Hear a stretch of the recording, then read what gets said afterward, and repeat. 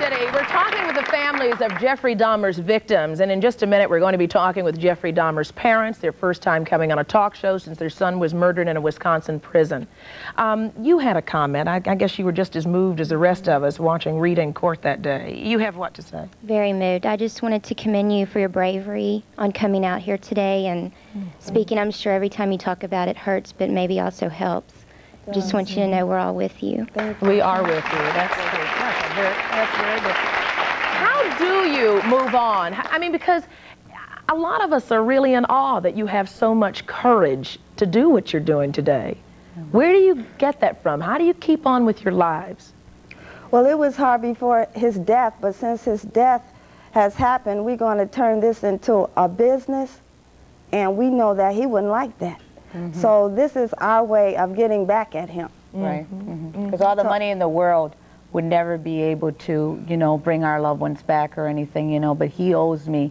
The city owes me, the police department owes me. They all owe me money. So you're angry. Money or whatever. We're very angry. We're really mm-hmm. upset we're full about of the fire, thing. And we're going you know. to fight just in case if this had happened again, right. which when we finish, I don't think whoever tries to commit a, a hideous crime like this will think twice because mm -hmm. we're going to put a stop to this. Because yeah, there's always going to be another Jeffrey Dahmer out there. He's probably running around the streets right now, but he hasn't got discovered. So we are here to educate the public, be, uh, you know, as victims. Mm -hmm. We're the victims. We've always been victimized by everybody. Because you know something, this could happen to any Anybody, of us. Nobody's immune Everyone to this. Everyone here in this audience is a target. Uh-huh. You said that you weren't real happy with the way you were treated in court during that whole case either. No, mm -hmm. we no. Were just treated awful. You know, we couldn't have showed any emotions or else the lawyers will call it outbursts, but then you can get the general public in there um, that had, that were admirers of the serial killer and they can say whatever they wanted to say, but the families weren't allowed to say anything. And we were very exhausted. The mm -hmm. trial started from sun up until sundown. We were there every day. We couldn't go to sleep. We couldn't show no emotion.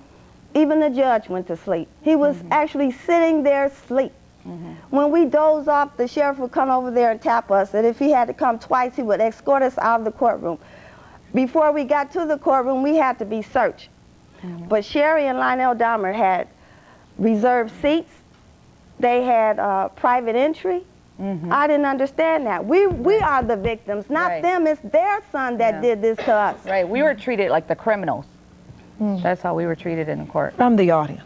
Well, on that last statement about how you were treated in court, I'd just like to say thank you for the 25-year-old inmate who took care of this little problem for yes. us. Mm -hmm. Secondly, secondly, to the attorney, I'd like to know what type of monetary gain are these families going to receive, seeing how there's really nothing left now but monetary well, that, that isn't true.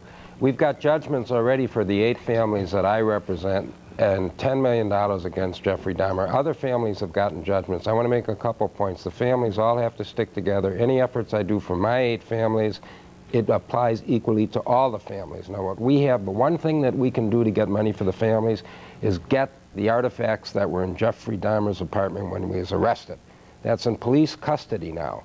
I want that property. I want it sold at a public auction. It's got to be here in New York. This is where it all happens. We're going to have an auction of all Jeffrey Dahmer's property. We want this is going to be now, what we Thomas, call a, you're talking about drills. We're you're talking about, chainsaws. Talking about you're talking about residue talking left about on carpets. Everything. Everything. Rolonda, Pails. Rolonda, what Jeffrey Dahmer did to my brother, I don't care if I have to sell his tooth. Okay? because that's just how I feel. And there will also be, and, and, and I, this is gross, but this is the reality. Yeah. There's also the painted skull you talked That's about. Right. The skeleton. Is that yeah, part yeah, of what you're talking about? We draw the line on the pictures and that type of thing. Okay. It's the it's going to be the concrete property, like the it's going to be the vat, the refrigerator, the hypodermic needle, the handcuffs.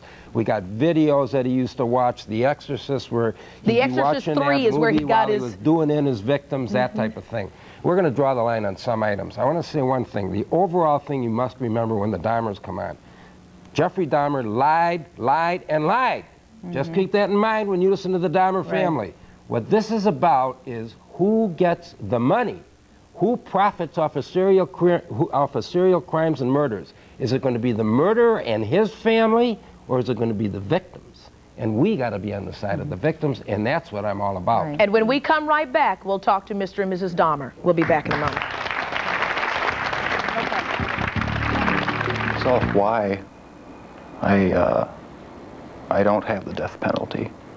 Death would be uh, uh preferable to uh, years of nothingness spent here.